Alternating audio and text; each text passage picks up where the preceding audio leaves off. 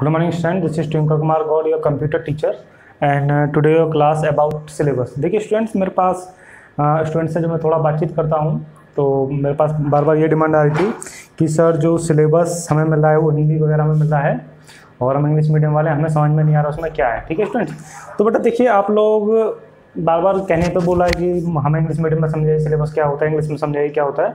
तो मैंने थोड़ा सा आपको सिलेबस के बारे में बताना शुरू किया है और मैं बताऊँगा कि सिलेबस की क्या इंपॉर्टेंस है क्या क्या वहाँ हम पढ़ने वाले हैं और वहाँ से कितने कितने मार्क्स का क्वेश्चन आपके पेपर में आने वाला है। ठीक है बेटा? अब देखिए आप। आपकी फ़र्स्ट यूनिट है या फ़र्स्ट चैप्टर की बात करें, उसमें छः चैप्टर छः यूनिट के हिसाब से बांट रखा है और सभी में एक एक टॉपिक पूरा ले रखा है, उसके अंदर जो भी पढ़ना है आपको वो दे रखा है। बेटा, पहला है आपका कंप्यूटर एंड कम्युनिकेशन ये 15 मार्क्स का आने वाला है बेटा पेपर में। कंप्यूटर एंड कम्युनिकेशन बेटा, ये आपका 15 मार्क्स का पेपर में आने वाला है। यहाँ से बेटा आपका आएगा primary communication model center receiver media and protocol types of communication communication media wire and wireless ठीक है? Simplex and duplex communication network LAN van and ये उसमें वैन लिखा हुआ था वैन डब्ल्यू एन वैन के लिए लिखा हुआ है या वी एन के लिखा हुआ है। बेटा दोनों ही नेटवर्क होते हैं। ये होता है वर्ल्ड वर्ल्ड वाला होता है ये, ठीक है? लोकल एरिया नेटवर्क है तो world area world area wide area network होता है ये और ये वर्चुअल एरिया नेटवर्क होता है। तो दोनों ही है। और मैं दोनों दोनों ही आपको बता दूँगा, ठीक है? तो क्योंकि उसमें वैन लिखा हुआ था ऐसे करके बेटा। वैन एरिया नेटवर्क अब वैन ये भी वैन है, ये भी वैन है, अब कौन सा वैन है पता नहीं। ठीक है, चलिए, कोई बात नहीं। अब इंटरनेट ठीक है?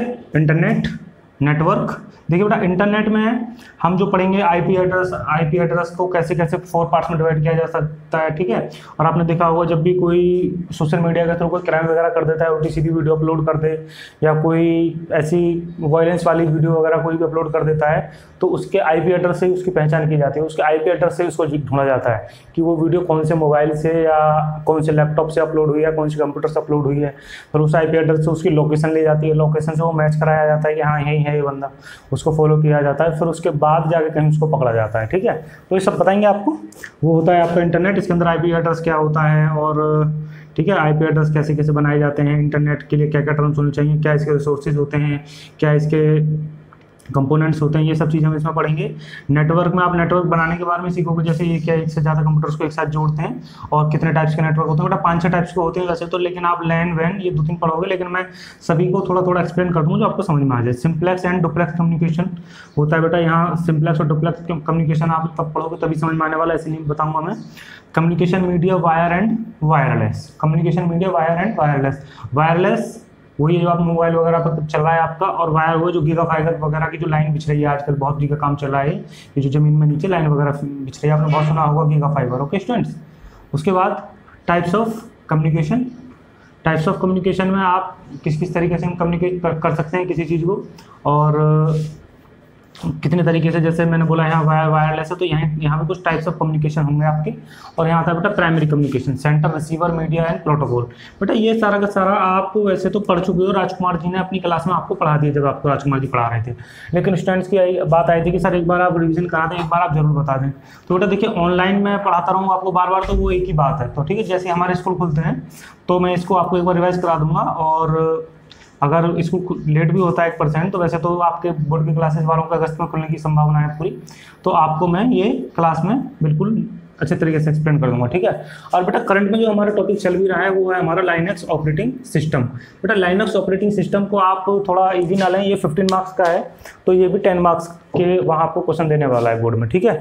और इसमें देखेंगे बेटा आप advance function and features of Linux Linus मैंने आपको वो थोड़ा लाइनस के बारे में जब बताया था तो वहाँ मैंने ऑलरेडी एडवांस ये उबंतु बताया था मैंने, ठीक है? और लाइनस के दो तीन और भी ऑपरेटिंग सिस्टम बताए थे रेड हेड वगैरह, बट ये इसके एडवांस फीचर ही हैं इसके सारे सारे। और तब पढ़ाई अभी आपकी क्लासेस चल रही हैं इस पर तो चल रहा है। एक है आपका सी एल आई एंड जी आई ठीक है? कमांड लाइन यूज़र इंटरफेस ठीक है? कमांड लाइन इंटरफेस और इसको बोलते हैं ग्राफिकल यूज़र इंटरफेस तो ग्राफिकल यूज़र इंटरफेस तो आप अच्छे तरीके से जानते हो। मैंने बताया भी होगा आपको, जो आप मोबाइल वगैरह में लैपटॉप वगैरह जो आइकन्स वगैरह देखते हो, उसी की वजह से ये ग्राफिकल यूज़र इंटरफेस बना है।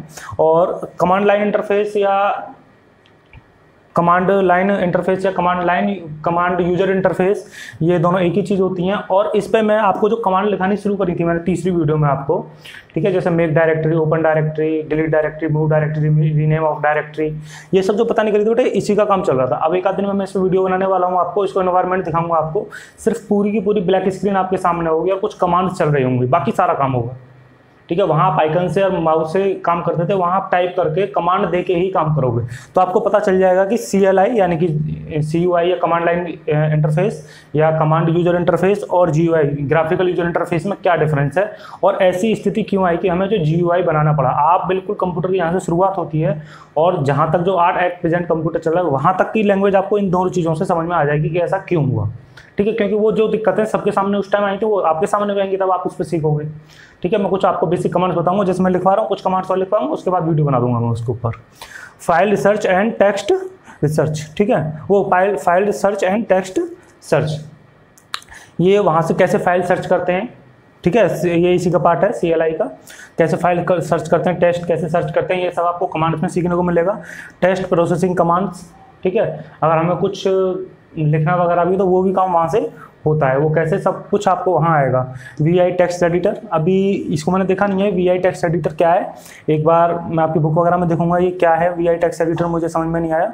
तो जब आपकी क्लासेस चलती रहेंगी, मैं आपको बताऊँगा, ठीक है? इंट्रोडक्शन ऑफ़ लाइनस डेस्कटॉप देखिए बेटा लाइनस डेस्कटॉप की मैं वीडियो आपको या तो यूट्यूब का लिंक किसी दूसरे चैनल का सेंड कर दूँगा, क्योंकि मेरे पास लाइनस ऑपरेटिंग सिस्टम नहीं है, ना मेरे पास है, ना स्कूल में है, ठीक है? और मेरे पास जो मेरा विंडोज़ ऑपरेटिंग सिस्टम है मेरा ओरिजिनल ऑपरेटिंग सिस्टम है, लगभग चौदह पंद्रह हज़ार रुपये कॉस्ट होती है उसकी ओरिजिनल विंडो की। तो अगर मैं अपने फ़ोन में इंस्टॉल करता हूँ तो हो सकता है वो ब्रेक हो जाए, फिर मेरा लैपटॉप दिक्कत करे अगर लैपटॉप में इंस्टॉल करता हूँ तो इस वजह से मैं आपकी कहीं ना कहीं से इसकी एक वीडियो आपको मैं दिखा दूँगा कि कैसा इंटरफेस होता है। इसका विंडोज़ का सेम ही होता है, बस थोड़े बहुत आइकन चेंज हो जाते हैं। Security and feature of Linus मैंने आपको बताया कि यहाँ लाइनस जो होती है, वो वायरस फ्री होती है, एकदम सिक्योर होती है, और एकदम आपकी बेस्ट एंड बेस्ट होती है। इसी वजह से इसको आज भी लाइनस को बहुत ज़्यादा कंपनियों में और बड़े बड़े बिजनेसेस में यूज़ किया जा रहा है। ठीक है? बट आप इसको एक बार देख लीजिए, फिर मैं अगली बात करता हूँ। देखिए स्टूडेंट्स अब आपकी बात करते हैं।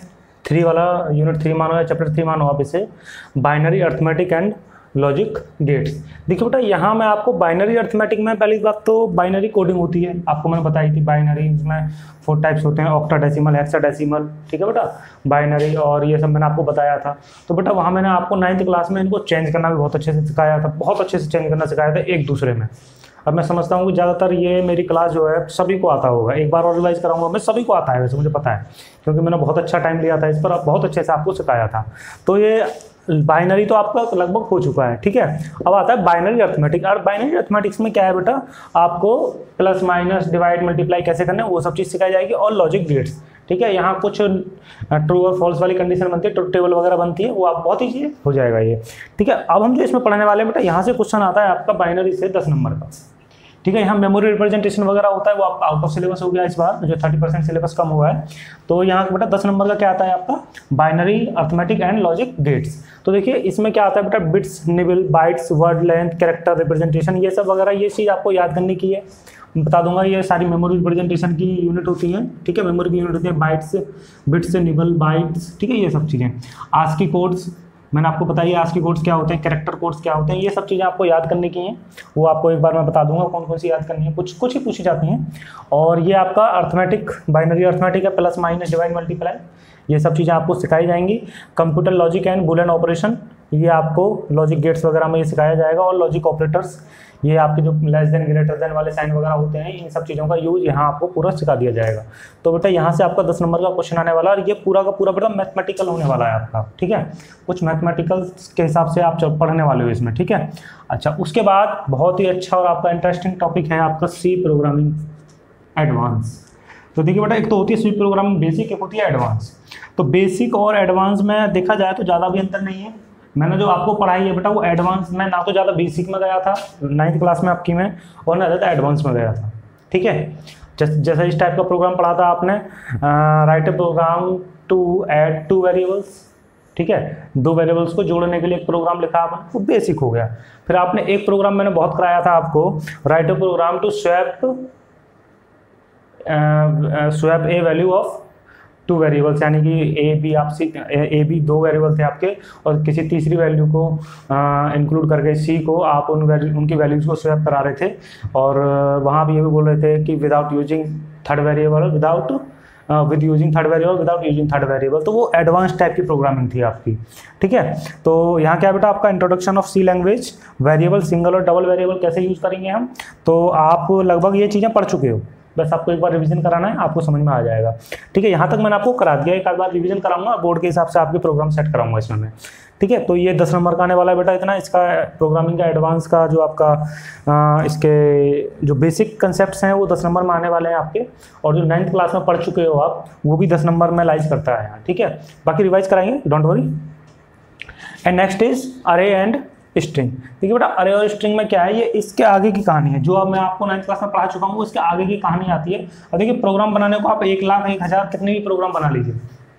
प्रोग्राम बहुत सारे बनेंगे, लेकिन जो आपको, आपके सिलेबस में हैं, आपके पॉइंट ऑफ़ व्यू से जो जो आपके एग्ज़ाम के पॉइंट ऑफ़ व्यू से इंपॉर्टेंट हैं, जो रिलीवेंट हैं, बस वही एग्ज़ाम प्रोग्राम्स वगैरह एग्जाम्पल्स वगैरह मैं आपको दूँगा, ठीक है बेटा? तो यहाँ अरे एंड स्ट्रिंग आती है आपकी function library function string manipulation and continuation of variable यानी वेरिएबल्स में वेरिएबल को ऐड कर देना। ये सारी चीज़ आप अरे और स्ट्रिंग में पढ़ने वाले हो।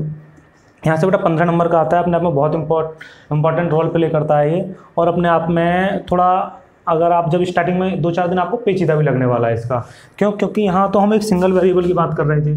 यहाँ फ़ंक्शन के अंदर फ़ंक्शन जाएगा फ़ंक्शन से फ़ंक्शन बनाएँगे।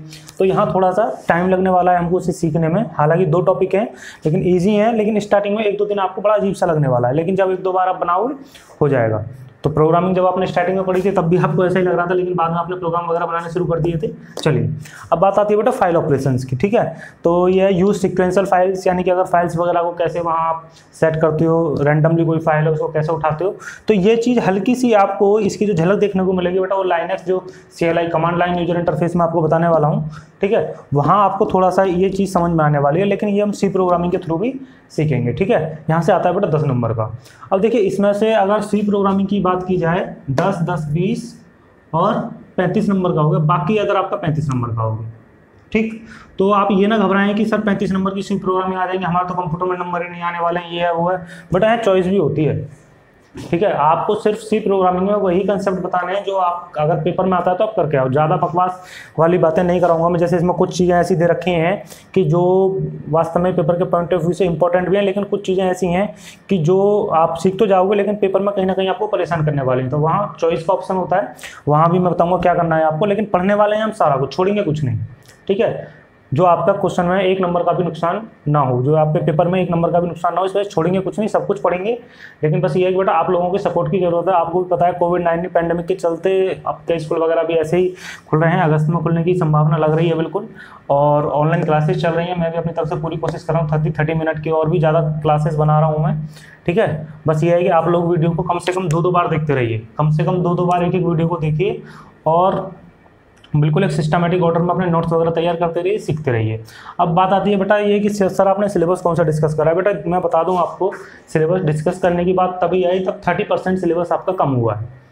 तब थर्टी परसेंट सिलेबस कम हुआ है। अब देखिए जो मैंने पहले लिखा था वो तो वहाँ से तो थोड़ा बहुत ही हटा है बेटा आपका ठीक है? जैसे वहाँ से आपकी जो आ, लाइनेक्स है लाइनेक्स में और भी बहुत सारे उसके ऑपरेटिंग सिस्टम के जो वर्जन है वो दे रखे थे, वो हटा दिए थे वहाँ से। और अपना कम्युनिकेशन में बहुत कुछ डाटा हटाया। तो यहाँ मैं आपको बता देता हूँ जैसे यहाँ क्या क्या हटाया है। यहाँ मेमोरी रिप्रेजेंटेशन हटा दिया है आपका, ठीक है? कैरेक्टर रिप्रेजेंटेशन दे रखा है तो मेमोरी रिप्रेजेंटेशन हटा दिया। यानी कि मेमोरी रिप्रेजेंटेशन अपने आप में थोड़ा सा पेचीदा हो जाता है कि कंप्यूटर किस हिसाब से मेमोरी का अलॉटमेंट करता है, ये सब चीज़ें यहाँ से हटा दी हैं, ठीक है? तो वो आपको परेशान करने वाले टॉपिक था, मैं ये कहूँगा। लेकिन अब वो हटा दिया तो आपके लिए वैसे ईजी होगा। यहाँ आप आधा तो पढ़ ही चुके हो। ये चीज़ आप जानते हो। ये चीज़ भी आपको मैंने हल्की सी बता रखी है। ये चीज़ आपको बहुत ईजीली समझ में आ जाएगी क्योंकि आप बाइनरी को बहुत अच्छे से पढ़ चुके हैं। ये आपके लिए थोड़ी सी नई चीज़ आएगी। ठीक है? चलिए, उसके बाद सी प्रोग्रामिंग में मैंने आपको बता दिया, बेटा, यहाँ से देखो इंट्रोडक्शन ऑफ़ सी वेरिएबल ठीक है? C language variable and single and double ये ज़्यादा हार्ड नहीं है। यहाँ बस नॉर्मली रखा है उन्होंने। और देखिए, सारे के सारे आपके इसमें इन्होंने लूप कंडीशन ये सब जैसे आपने फोर लूप पढ़ा था if and if else if ये सब चीज़ें आप पढ़ रहे थे, ये सब चीज़ें यहाँ से इन्होंने शायद हटा दी हैं, ठीक है? अब जो, लेकिन एडवांस लेवल पर बोल रहा है ये तो बेटा उनका भी ज़िक्र हमें करना पड़ेगा, हम उसको इग्नोर नहीं कर सकते हैं, क्योंकि यहाँ से तो उन्होंने हटा दिया लेकिन यहाँ कहीं ना कहीं वो आपके लिए लाइव करेंगी। तो सिलेबस एक तो ये होता है कि वो पूरे तरीके से चैप्टर को ही खत्म कर दिया जाए तो वहाँ तो ये है कि हम चैप्टर को बिल्कुल स्किप कर सकते हैं। लेकिन बेटा ऐसी सिचुएशन में जहाँ इन्होंने वर्ड एडवांस यूज़ कर रखा हो, वहाँ हम जो इन्होंने सिलेबस में यहाँ नहीं दिखाया है मुझे, जो आपके जो आपकी वो होती हैं कंडीशन होती है कंडीशन लूप वगैरह होते हैं आपके, ठीक है? और स्टेटमेंट वगैरह होते हैं, वो सब चीज़ें यहाँ इन्होंने नो सर्व नहीं की हैं, लेकिन मुझे बता बतानी पड़ेंगी क्योंकि वो आपको यहाँ परेशान कर जाएँगी फिर, अगर मैं उनके बारे में आपको यहाँ नहीं बताऊँगा। फोर लूप कैसे लगता है, ठीक है? और इफ़ कंडीशन कैसे लगती है इसकी कंडीशन कैसे लगती है फैल्स कंडीशन कैसे लगती है, ये सब चीज़ें मुझे आपको एक बार बतानी पड़ेंगी। ये ये थोड़ा सा थर्टिकल पोर्सन है, इसमें ज़्यादा कुछ नहीं है। प्रोग्राम वगैरह भी ज़्यादा नहीं करेंगे, बस आपको इतना करा दूँगा कि पेपर आता है। पेपर में क्वेश्चन आता है तो आप कर दो उसको, ठीक है? तो हमारा जो सी प्रोग्राम है, हम मेन फोकस करने वाले हैं यहाँ, और इसमें थोड़ा सा जो हिडन वाला पोर्सन है आपका, जो आपकी कंडीशनल लूप वगैरह होती है, ये सब चीज़ मैं कराऊँगा, ठीक है? कंडीशन वगैरह जो लगती है, वो इस वजह से कि मेरा एडवांस लेवल बोल रखा है उसने। तो मैं उनको इन चीज़ों को इग्नोर आपके साथ, कहने मतलब आपके साथ कॉम्प्रोमाइज़ नहीं करूँगा इस चीज़ को लेकर, बिल्कुल भी इग्नोर नहीं कर सकते उस चीज़ को, क्योंकि मुझे पता है कि वो चीज़ यहाँ अगर हम छोड़ते हैं तो वहाँ जाकर हमको परेशान करने वाली है।